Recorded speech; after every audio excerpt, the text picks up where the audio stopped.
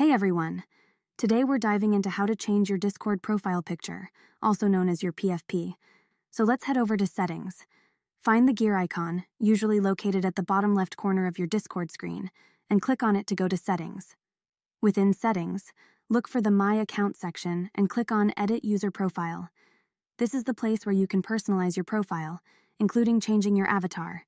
Now, you'll see a box where your current avatar or profile image appears. Click on it to bring up some options. Discord offers flexibility here. You can upload a custom PNG or even choose an animated GIF. If you're a fan of animated pictures, you can select a GIF right here. But for today, I'll click the Upload button to choose my own image. Once you click on Upload, your File Explorer will pop up. Time to pick the picture you want to use as your new avatar. After you've selected your image, you'll get the option to scale it.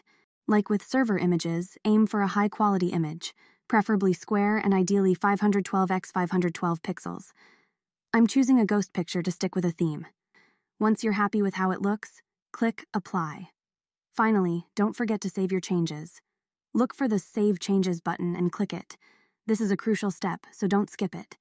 And if you ever feel like going back to your old avatar, or even the default Discord icon, you can return to this same menu and remove the uploaded image. And there you have it.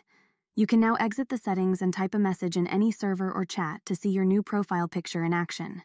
You've successfully updated your Discord profile picture, and now you know how to make it look exactly the way you want it.